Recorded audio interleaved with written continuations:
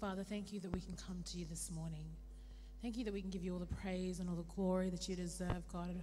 I pray that you would be with us this morning, Father God. I pray for the word that's coming, God. Yes. I pray that we can enter your court of thanksgiving, Father God, no matter what has happened this week, God. We dedicate this morning to you, God, and we praise and we worship your holy name. And your people said, Amen. Amen. We have some announcements this morning. Good morning, church. How are we going? Welcome to church. Glad to welcome you here on this wonderful Sunday morning. Got some announcements. First one up this morning is our Centre for Change Christmas gifts. So, what we do each year as a church is that we as a church we're going to bless children in the Philippines at the Centre for Change, and we have some little cards that look like this in the foyer after church. They look like this. And what we do there, each card is worth $25. What we'd ask you to do is that you would buy a card, $25. You can buy one, two, three, four, as many as you want. We have 80 out there after church. We ask that you give so we can bless the Christmas of these children in the Philippines at Centre of Change through the work of Margaret Pashley.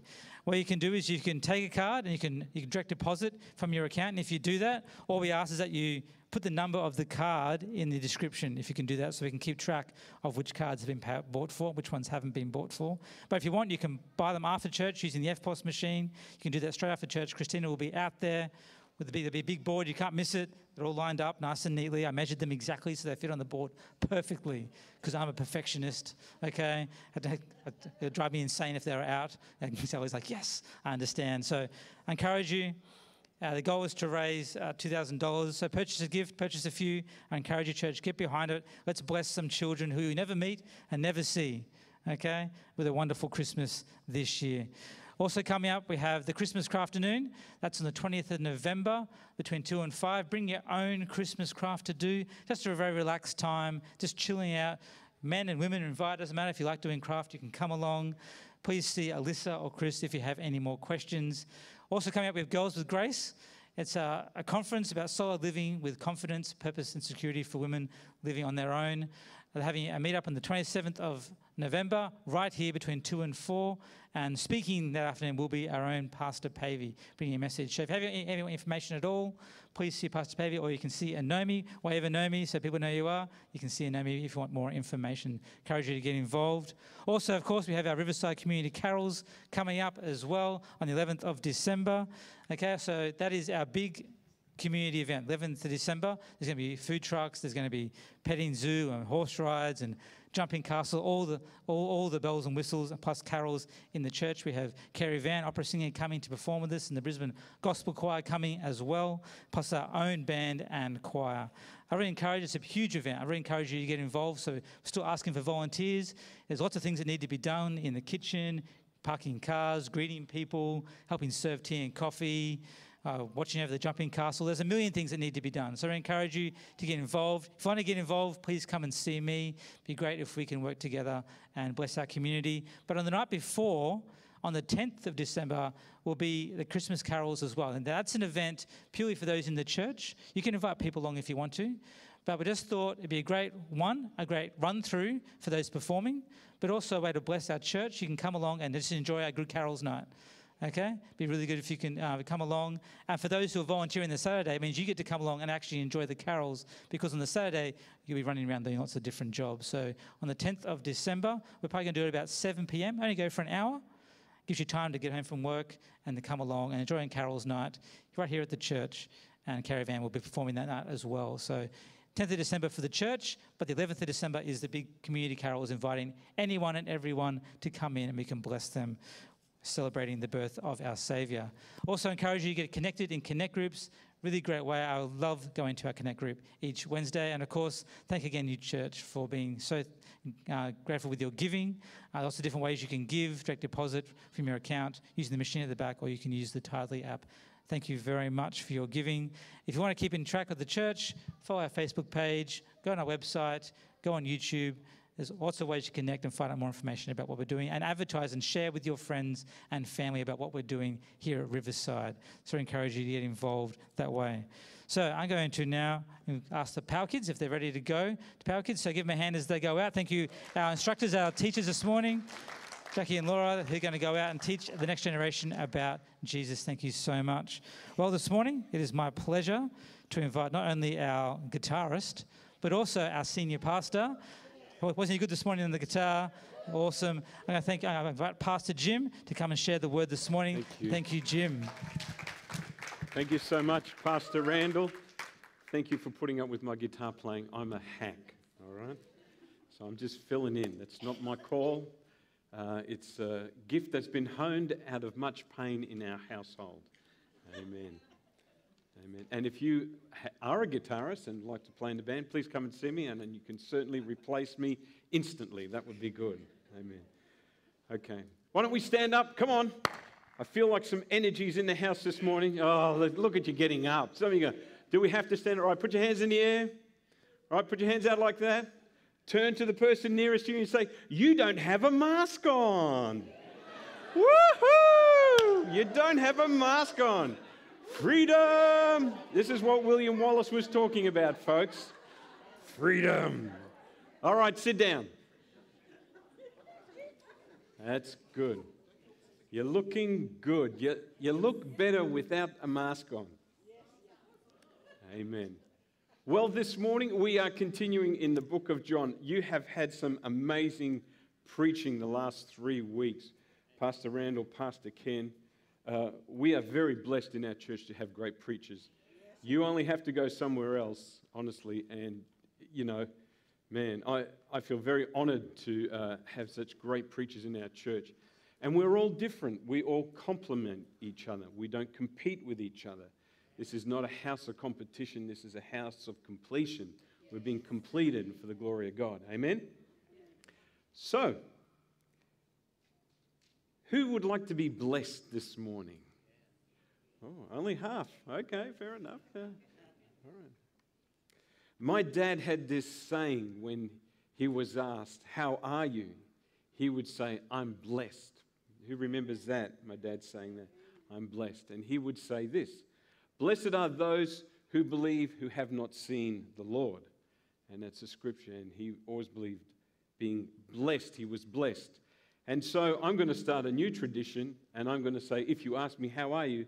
I'm better than blessed. That's kind of like double blessing, better than blessed.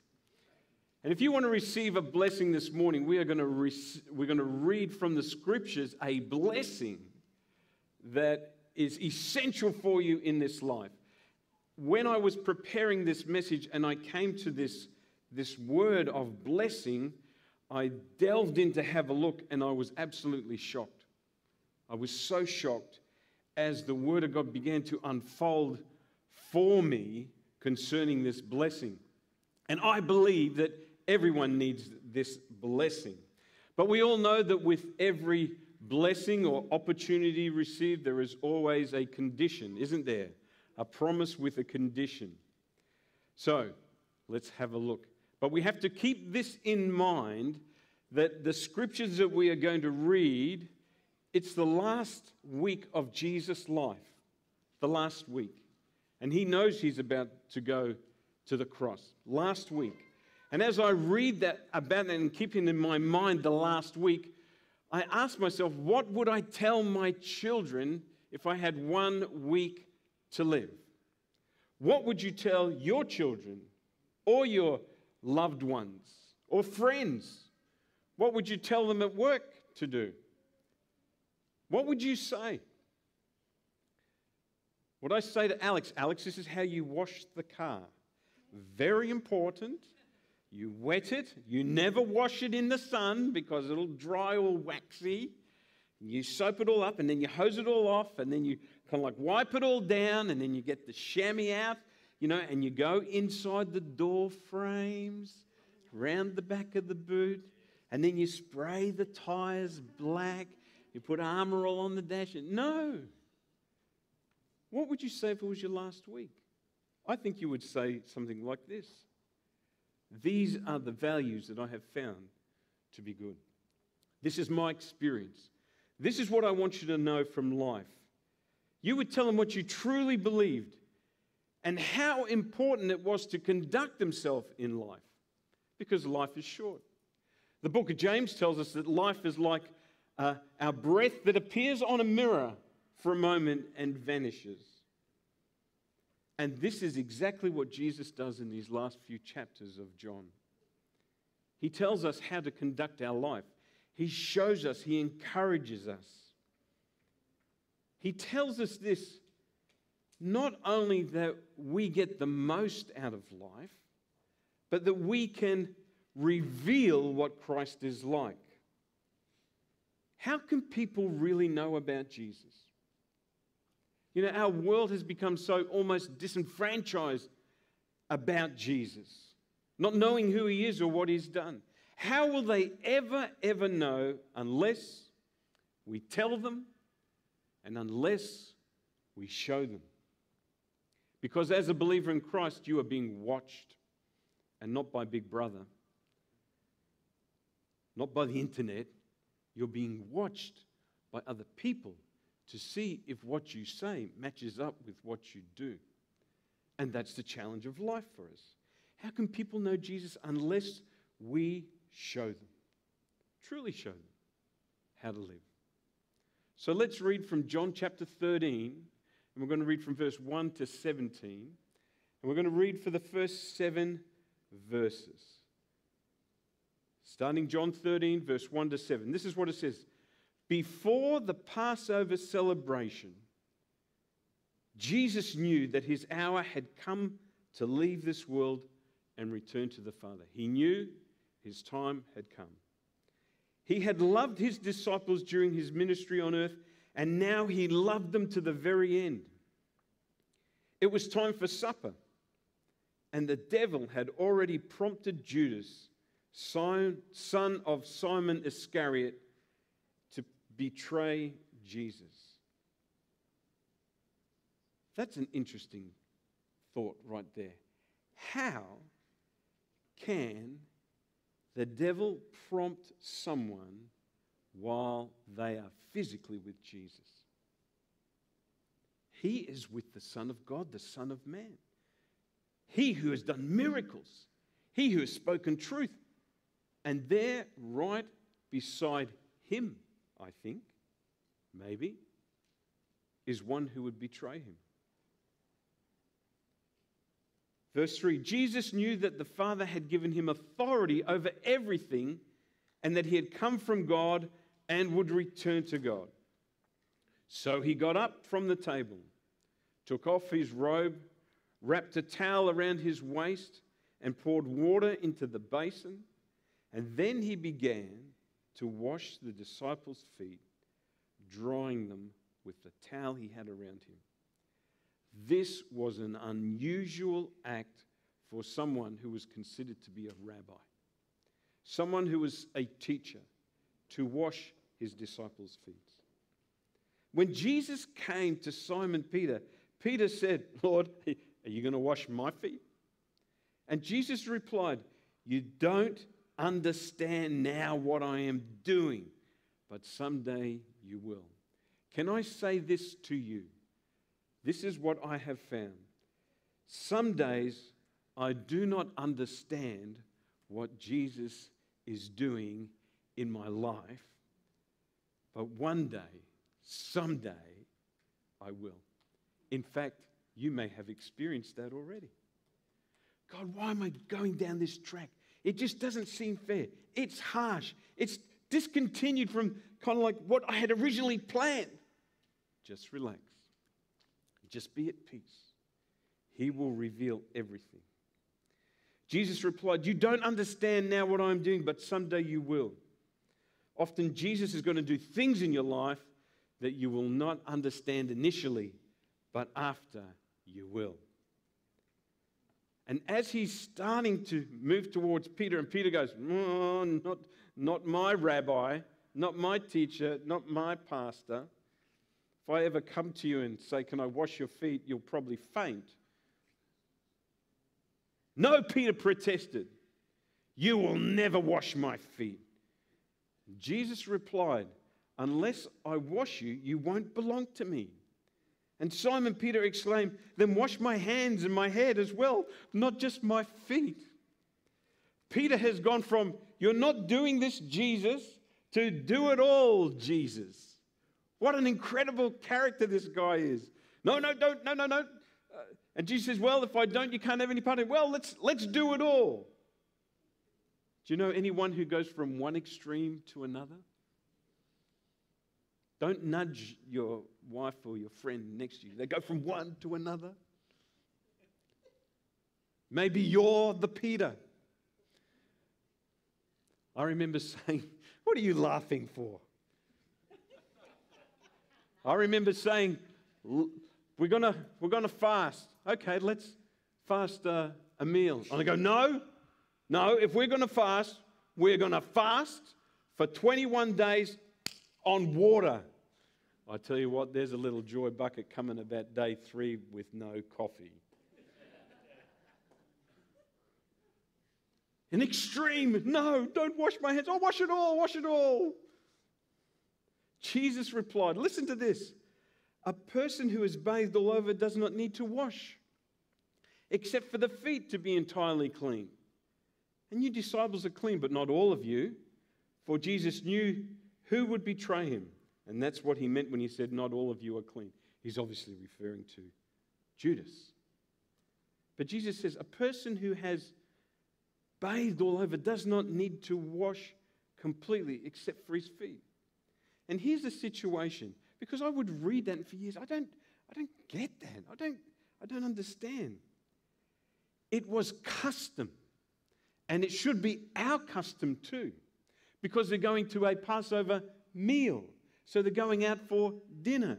Can I suggest to you, before you go out for dinner, have a bath, have a shower, wash, brush your teeth, comb your hair, clip your fingernails, smile.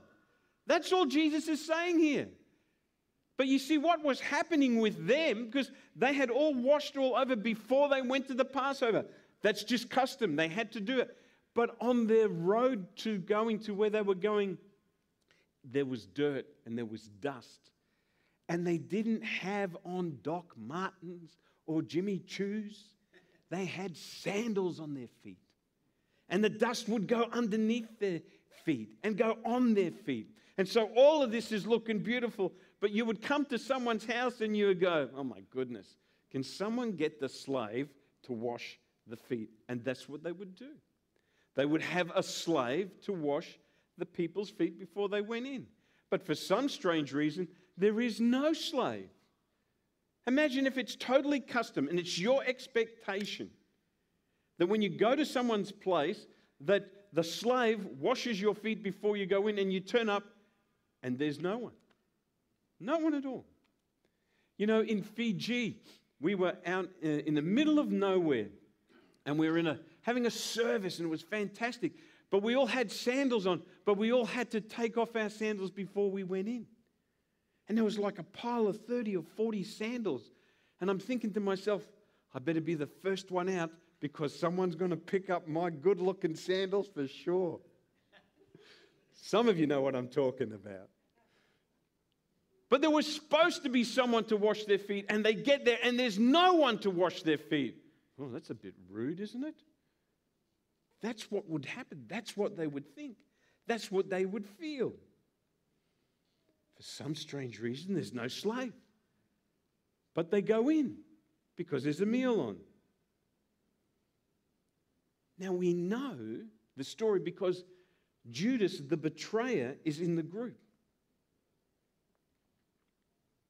And Jesus begins to wash their feet. Jesus, you've got to think about this, folks.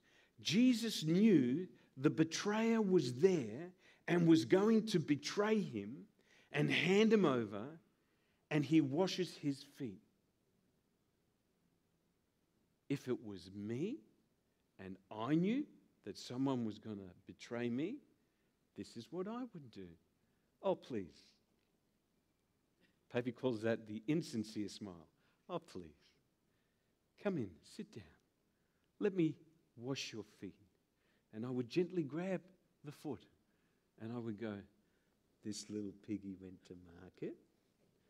This little piggy, what happened? This little piggy had roast beef. And this little piggy had none. And this little piggy, that's what I would do. All the way home. But Jesus doesn't do that. He does something that is so out of the box.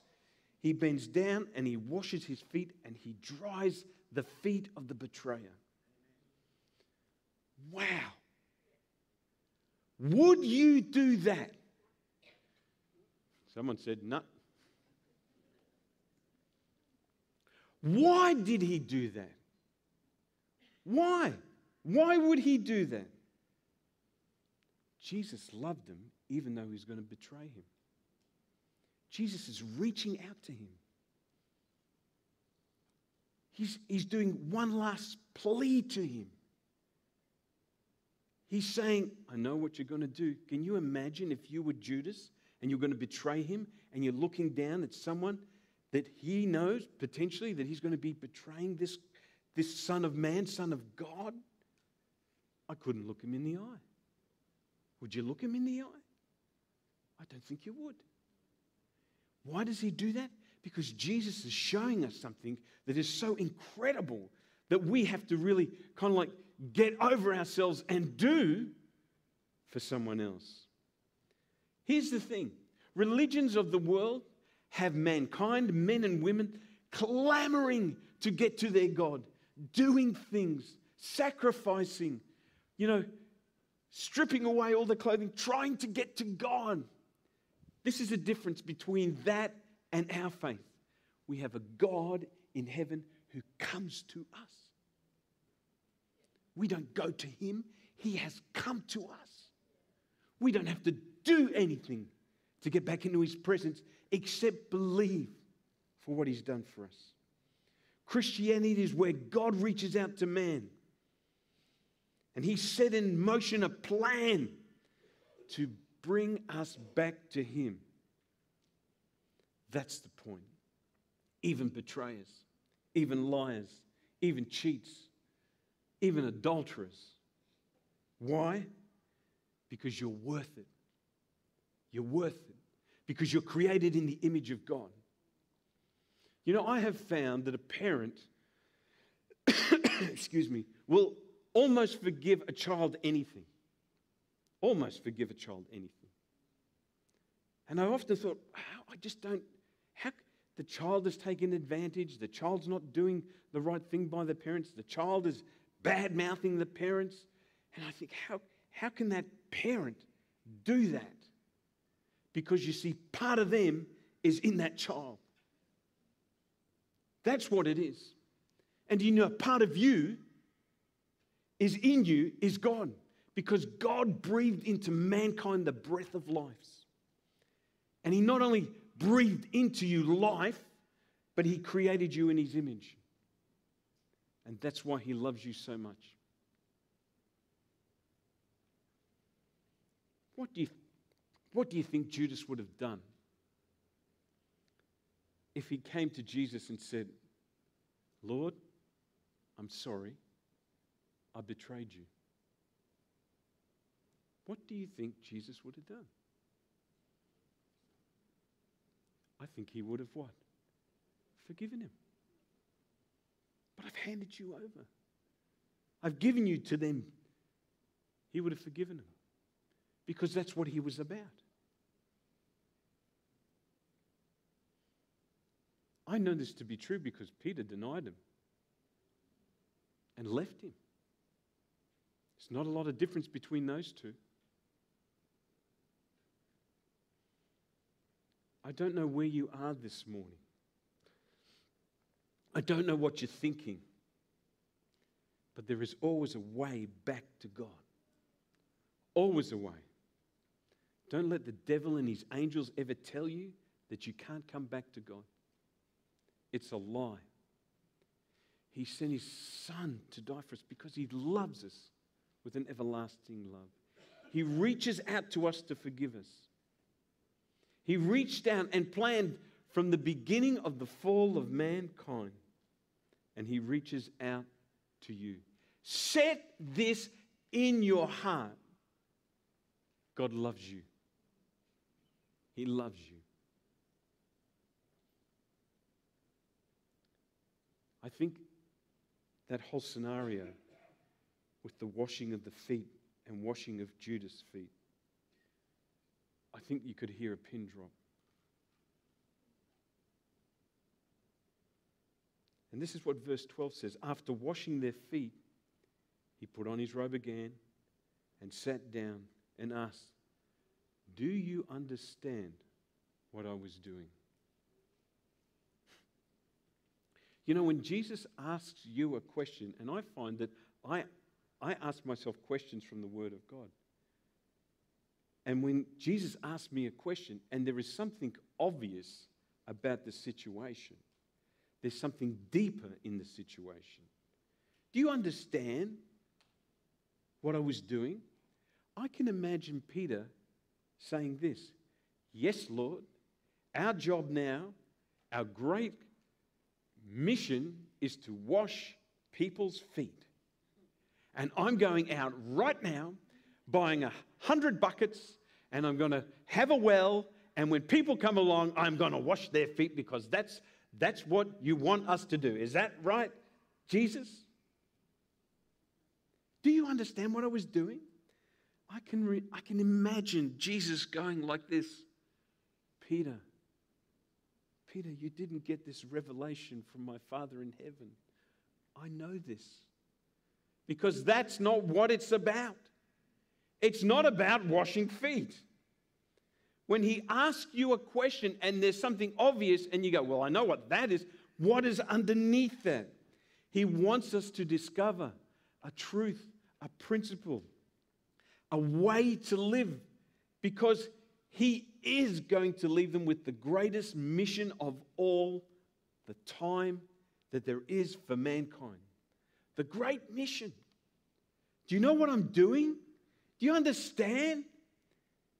And he says this, verse 13.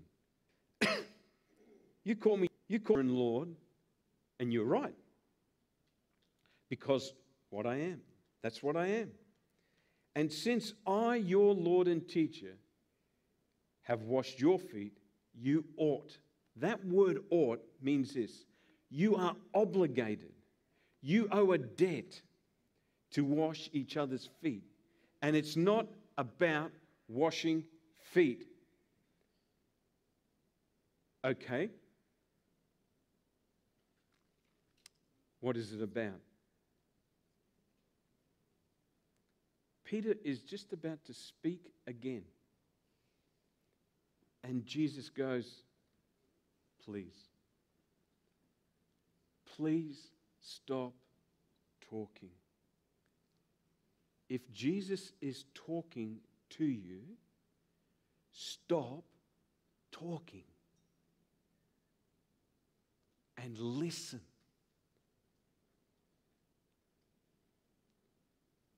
Here's the answer.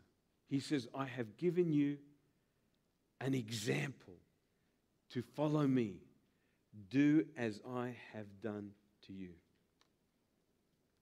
And Peter is about to speak. And Jesus looks at him. And Peter goes like this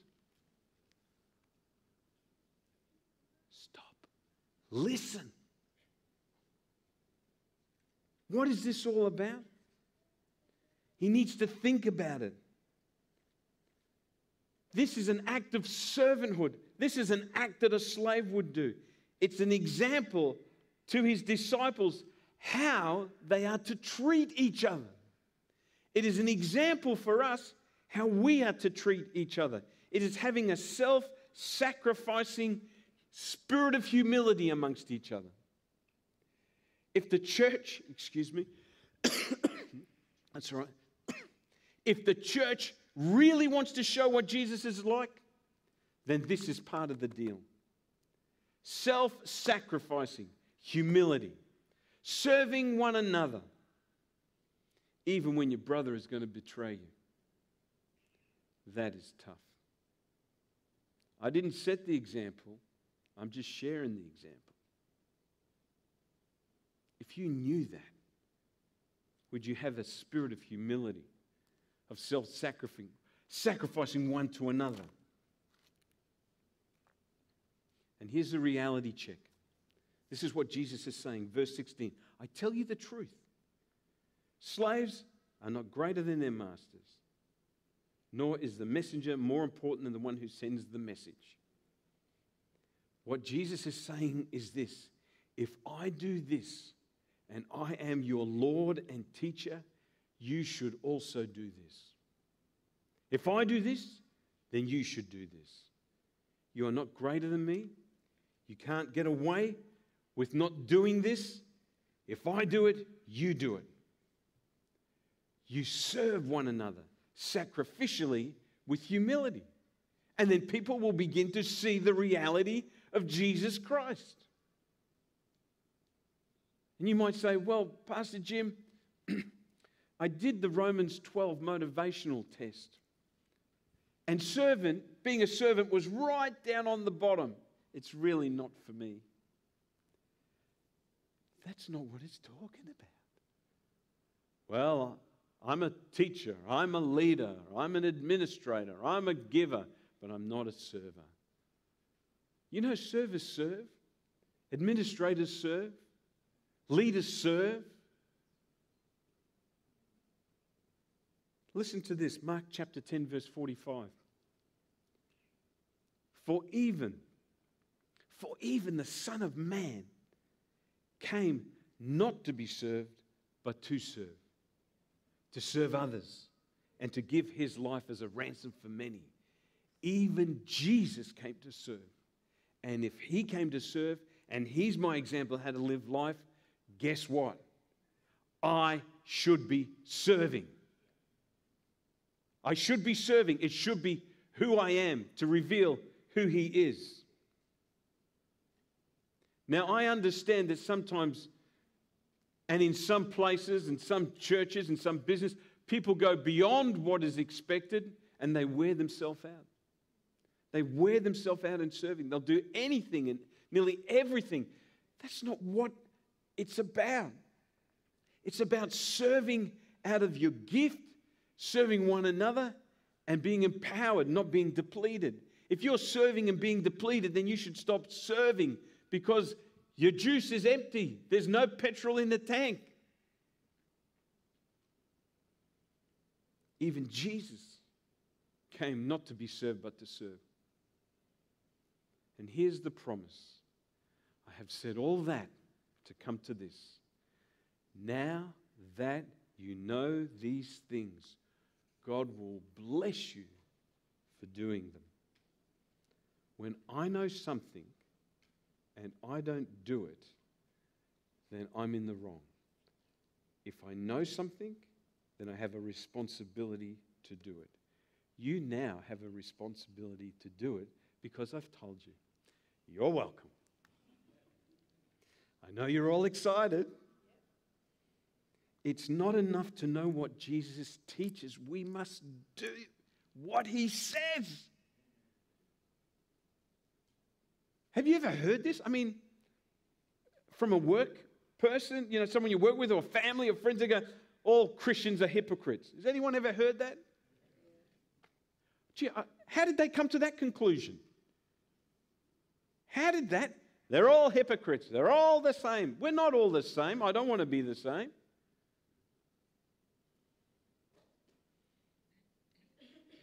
A theoretical knowledge is not sufficient unless it transitions into action.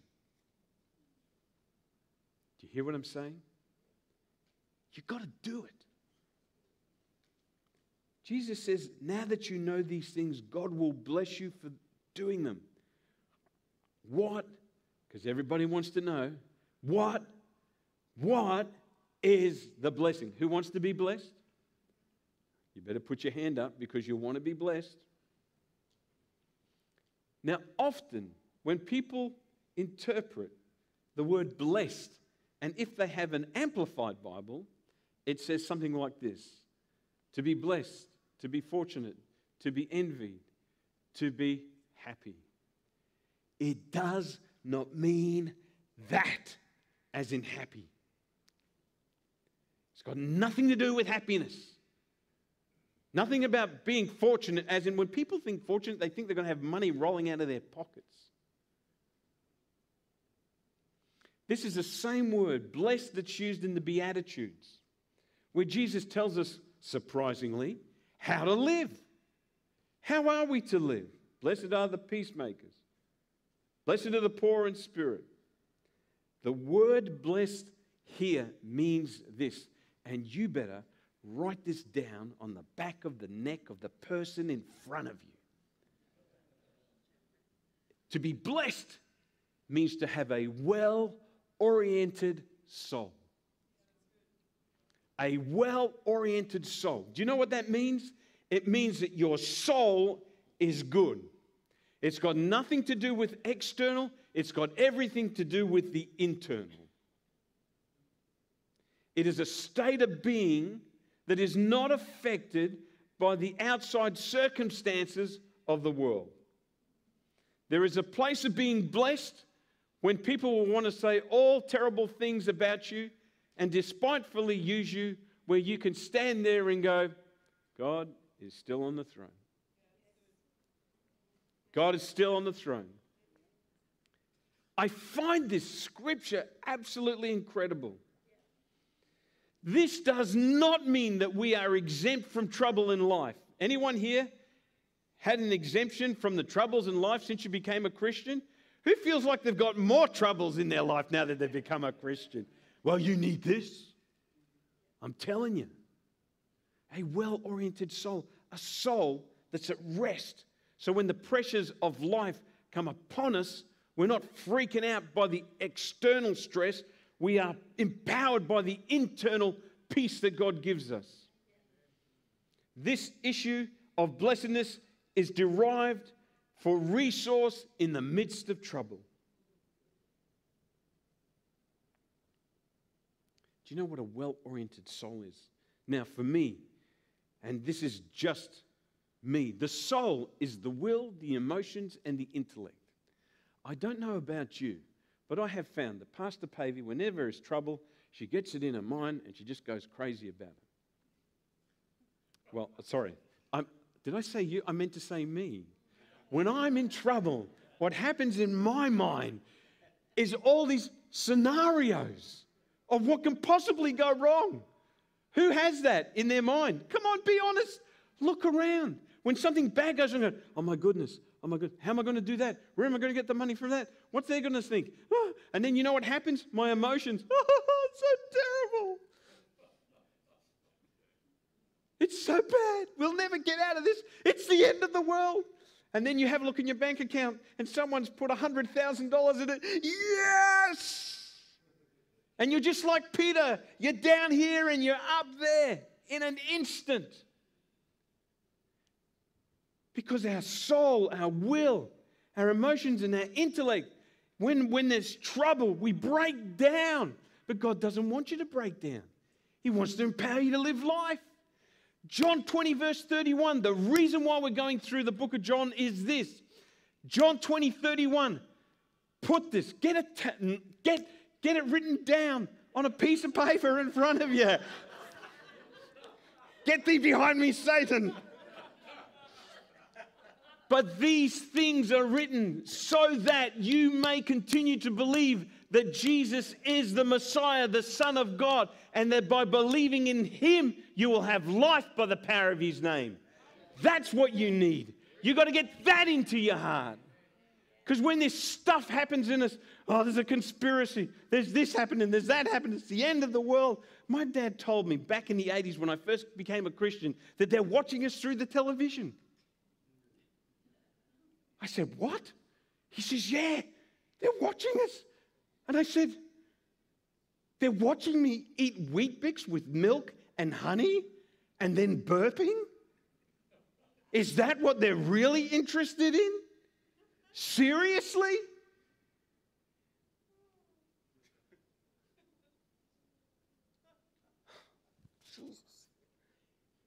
It's to take you off the track and worry. God has not given you the spirit of fear, but a power, love, and a sound mind. Come on. He wants you. And, and this blessed thing that He gives us to orientate our soul, to make us whole, in our will and our emotions and our intellect comes through this very act. the act of service, sacrificial service. When I do what the word says, and in particular here, to serve one another with humility, I receive a blessing that is manifest in my soul. And there's peace in my soul.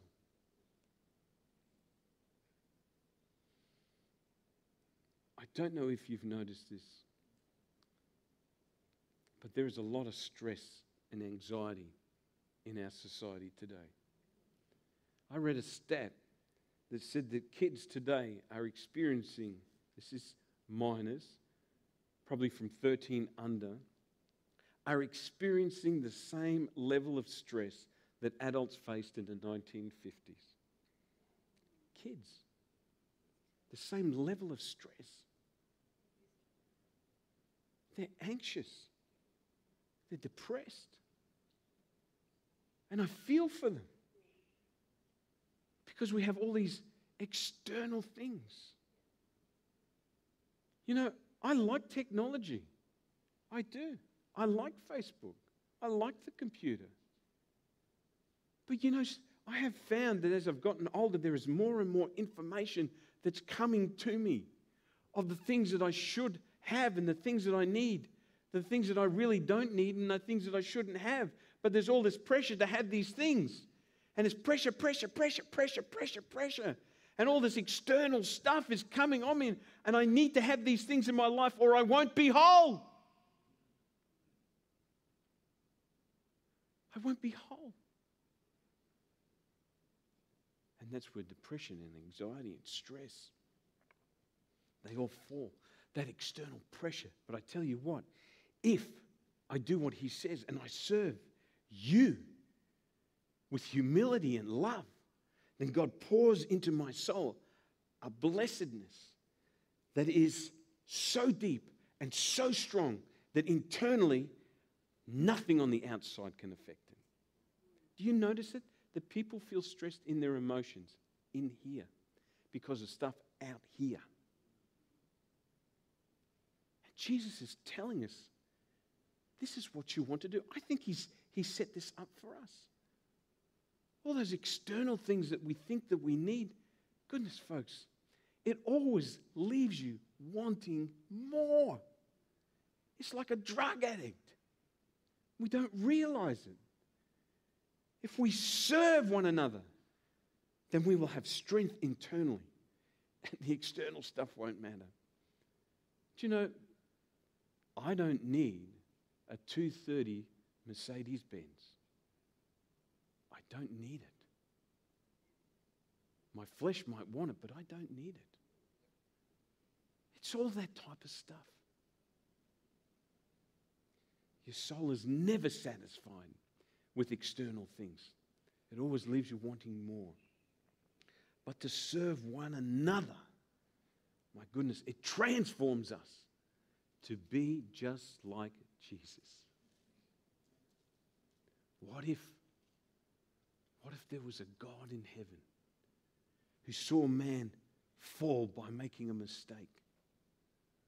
And what if he decided, I'm going to set a plan in motion where they can reconnect to me? And what if I send the Son and I show them how to live because the world is going to go absolutely nuts? And they're going to have all this external pressure. What if my son teaches them how to live life? And that's what he has done.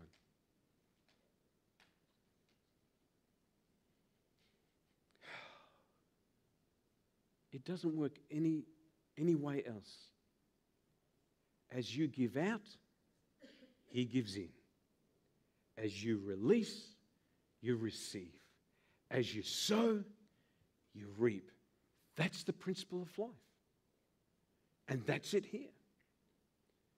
Do you think the disciples were in for stressful days ahead? Oh my goodness. Yes, they, they will one day wear masks. That's how stressful it's going to get. No, all these pressures.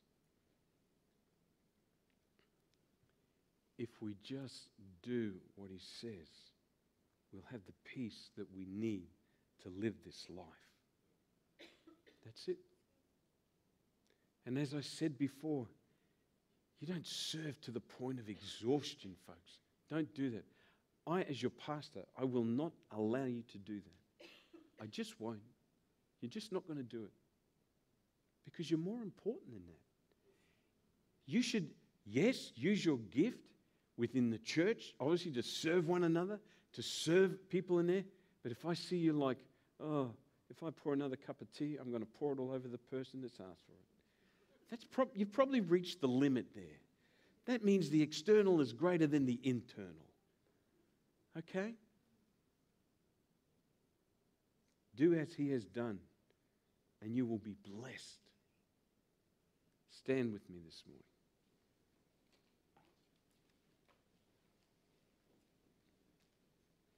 What if? What if the things that Jesus told us, what if they would just help us to live life? Serving one another. This is not a plea to get you to serve in church. Take that thought out of your mind completely. Completely. Just close your eyes for a moment. And I want you to just to be honest with yourself and with God. And ask yourself this question Am I serving with great humility those people that are around me? Am I an example of Jesus Christ? What do I need to do?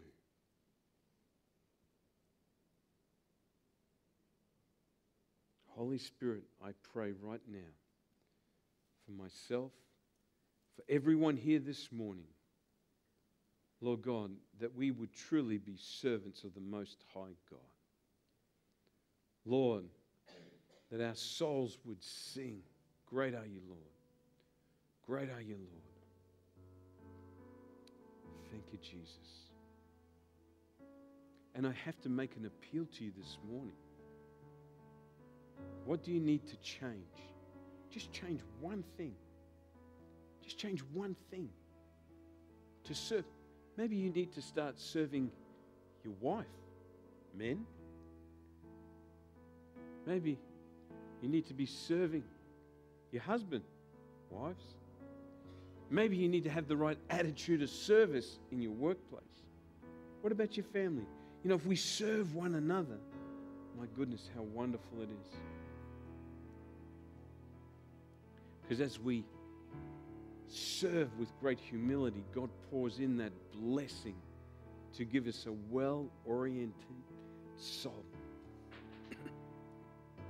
a soul that is full of goodness, a soul that is stronger than the outside pressures of life, where our mind and our will and our emotions are secure.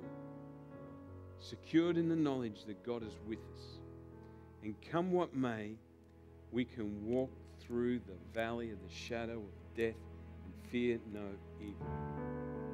And if that's you this morning, I want you to make a promise to yourself that I'm going to begin to serve and serve one another. Serve each other. Even if it's to one who would betray you. That's the, that's the watermark. That's the standard. That's tough. But you know what? I want to be more like Jesus. I just want to be more like him.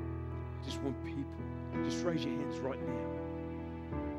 Just want to be, if you want to be more like Jesus, just raise your hands now. Father God, I release the anointing to the people with their hands raised this morning. I release that anointing, God, to be instruments of Jesus. Father, I pray for, for your spirit to bring direction to us where we are to serve.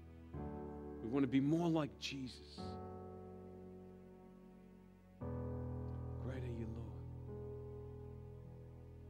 Lord. Jesus, we worship you.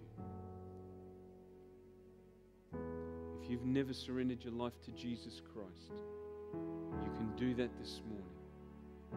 Just ask Him to come into your life to be your Lord.